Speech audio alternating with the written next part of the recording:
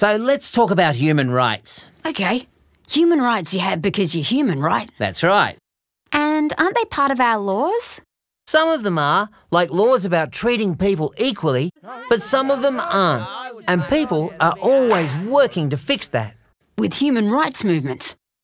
All over the world, people have been working to achieve equality. America in the 50s and 60s, fighting segregation of African Americans. Australia in the 50s and 60s, Indigenous Australians fought for equal pay and gained the vote in national elections. What's happened in Australia since then? 1975, the Racial Discrimination Act and Indigenous land rights. 1992, the Mabo decision recognising native title. 2008, the government's apology to the stolen generations.